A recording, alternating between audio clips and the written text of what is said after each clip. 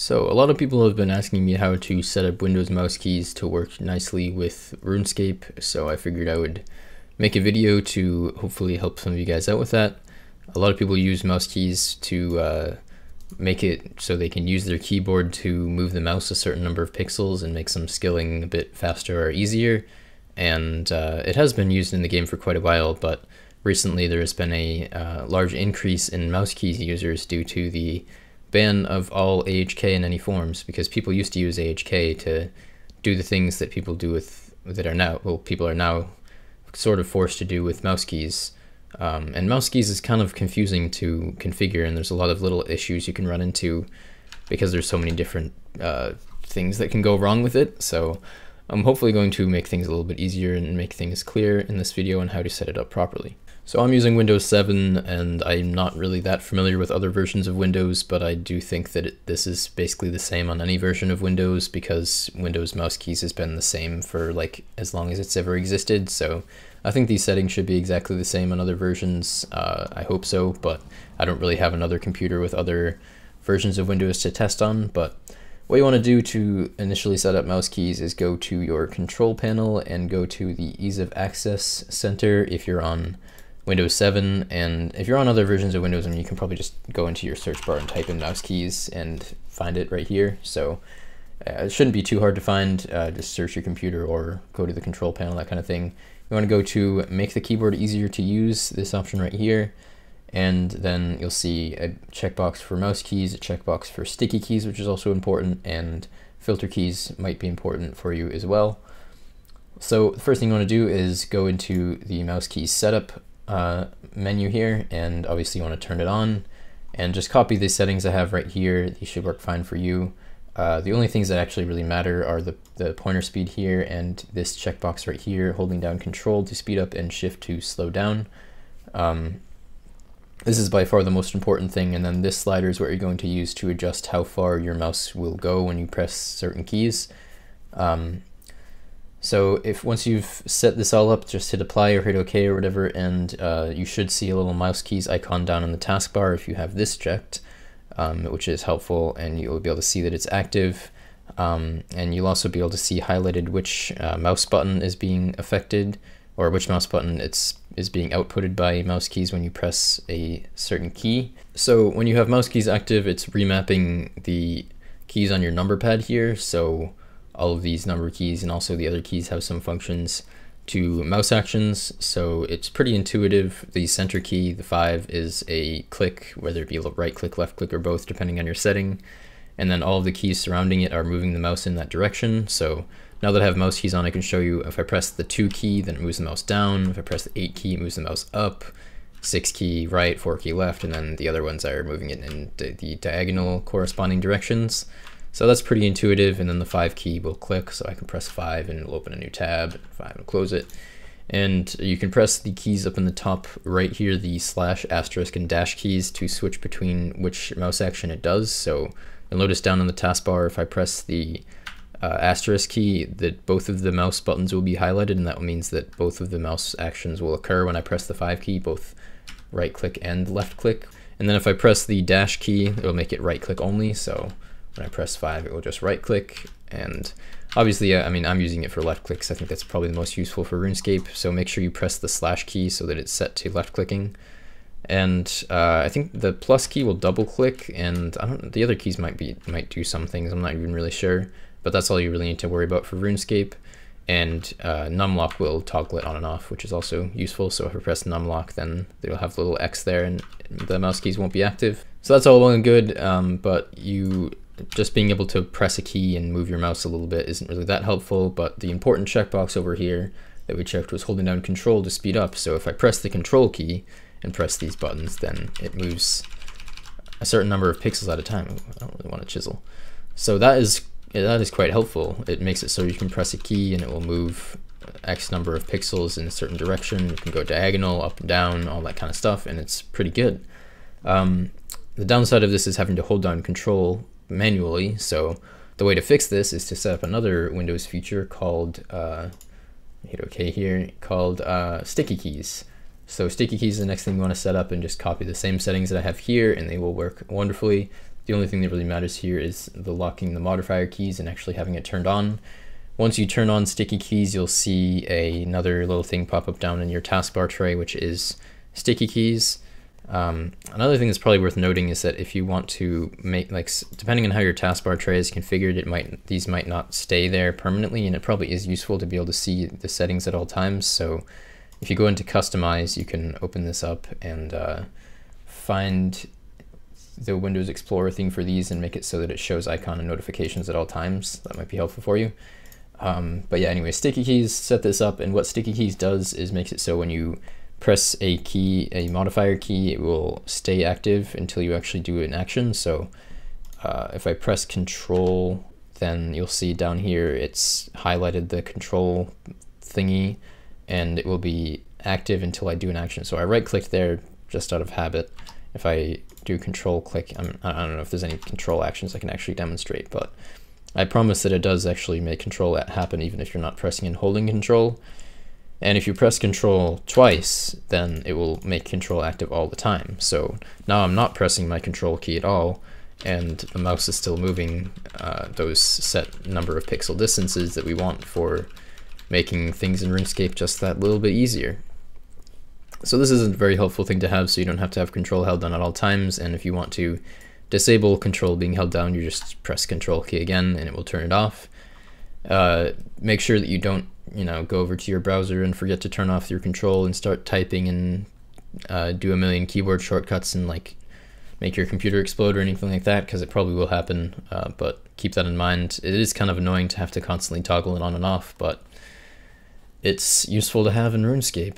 The other downsides of it is that you can't rotate your camera uh, with the mouse wheel in RuneScape or type or uh, or use the escape key to close the bank if you have control active. Um, you will notice that I have some AHK scripts active, despite the fact that AHK is illegal for most things, but the only thing I'm actually using AHK for uh, is, well, you'll see that I have this little screen marker here where my essence is in my bank, and I also have this little lap timer here thing.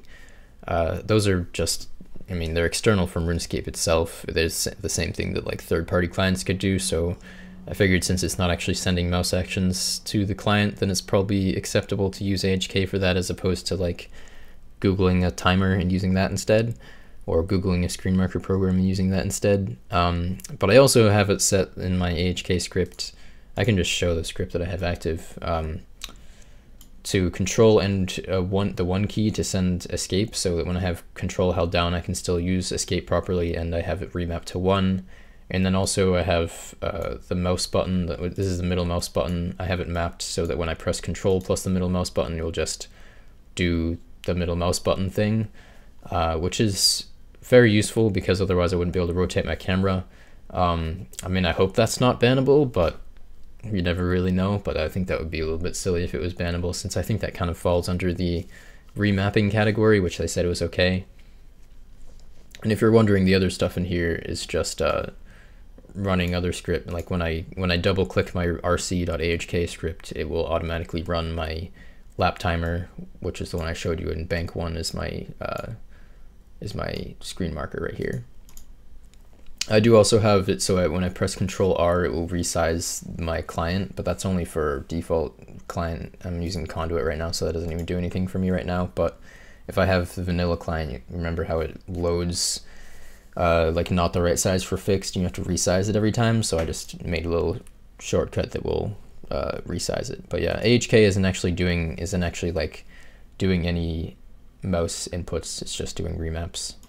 So that that's how you can get around some of the annoyances of uh, mouse keys and still be using mouse keys for the actual mouse actions. One other thing that you might want to set up uh, is a thing in here called filter keys. Um, I don't have filter keys turned on right now, but it might be useful. Uh, the problem that I had when I first started using mouse keys recently was uh, if I had the control held down and I pressed one of the mouse movement keys, it would like send the input twice or three times if I held it down for more than like a millisecond, which was really annoying because like I'd try to go like this and it would go down twice as far and that was annoying. So uh, what filter keys does is it makes it so that uh, if you like the, it puts a certain amount of delay between inputs uh, so that this won't happen and that's with the repeat keys and slow keys. So just pause the video here if you want to set that up and copy the settings I have here and then pause the video here also and make sure you set up the slow uh, repeat and slow keys to these settings and that should be good for uh, solving that problem. It's weird because I had to do that the first time I used mouse keys but since then I've had it turned off and it's been completely fine so I have no idea why that is but yeah mouse keys is a bit weird. And the last thing that might be useful is that uh, is that you can remap uh, keys to your numpad so that you don't necessarily have to use your numpad because like if you're right-handed and you're used to mostly having your left hand on the left side of your keyboard and you know resting it in a certain position then you have to cross your like arm all the way over your body to the far right side of your keyboard to use the numpad. It might be somewhat uncomfortable and the mods have said that it's acceptable to use programs to remap other keys on your keyboard to the numpad keys which might be a little bit more comfortable for you and that's what I myself have done. So there's a lot of different options and a lot of different programs and stuff that allow you to remap keys on your keyboard. Um, AHK obviously can do that, but for some reason, if you try to like, if you just like make a new uh, AHK script, call it whatever, and like map, um, like the standard way of mapping an AHK is just to do like key colon colon action. So if I try to do R to numpad to numpad five, and I save this and I run it, um, if I press the R key, it will just send 5, even though I have mouse keys active and 5 should be a left click. So using AHK to remap mouse keys doesn't work for whatever reason, so uh, you'll have to use something other than that. Um, the program that I'm using to, I have to exit this also, goodbye. Uh, the program that I'm using to remap that does work is called Corsair Utility Engine which is a software that come or that is used to control my keyboard because I have a Corsair keyboard. Um, it's kind of a confusing software to use, so I'm not going to get into it too much. But if you have a Corsair keyboard, you should be able to use Corsair Utility Engine, and I have it set so that I can press a key to toggle between my main uh, normal keyboard, which is I'm using this key for mode switching, to the mouse keys setup that I have and in my mouse keys setup, I have the 2, 3, and 4 keys over here mapped to the numpad keys, and using this software to map them does work. So I have uh, the 4 key mapped to keypad 5, which is left click. I have the 3 key mapped to keypad 2 down, which is moving the mouse down, and the 2 key to keypad 3, which is moving the mouse diagonally down. The reason for this is because uh, if I show my client here, I can press, I can press just the two keys to easily empty my pouches like this. I'm pressing right click with my mouse and then 2, 5, right click with my mouse, 2, 5. And then if I want to withdraw essence, then I press uh, right click and then I can press 3, 2, 5, uh, or on my keyboard two, three, four to basically get the equivalent of multiple drop down links. Uh, if you tried to map two keys to the two key, so like so that you'd be pr basically pressing that key twice, but you could press two separate keys, then you could do that also, but it's a little bit slower. Um, so I just find it's really easy to do it this way. And then uh, you'll notice I just have the one key mapped to one, but since I have my AHK script active that maps control one to escape, now if I press my one key, it works as escape. But like if I press my escape key right now, or sorry, that's my, that's not escape. If I press escape with control active, it will open up this, which is not what I want. So yeah, to be able to use that, you have to do some kind of mapping. So if you don't have a Corsair keyboard, then there are other programs that will work. Uh, I will look around and link some of them in the description. The one that I've heard people talk about the most is SharpKeys. And SharpKeys will actually modify regist uh, registry keys on your keyboard so that uh, keys will be re remapped that way. Uh, the downside of it is that I think you have to do like a reboot every time you remap your keys and you can't have easy mode switching like I do with, you know, just being able to press a key to switch between being able to do one, two, three, four, or, you know, the mouse actions that I was talking about. Um, there probably are other softwares out there. I would suggest like going to Google and searching uh, key remapping if you are really wanting to remap your keys and not use the numpad. Um, but yeah, I think that pretty much covers everything. This is exactly how I have my mouse keys set up, and as far as I can tell, it's completely within the rules. They've said that using mouse keys is fine, and using other programs just to remap keys is also fine. So that's all I've been doing, and it works pretty well to accomplish pretty much the same things that I was doing before with AHK. So yeah, hopefully this has been helpful to you guys. If you have any more questions, let me know. Hopefully I didn't miss anything too important. Um, but yeah, it's a pretty annoying and complicated process to get it all set up. So hopefully this has been helpful. Thanks for watching, and I will see you guys all later.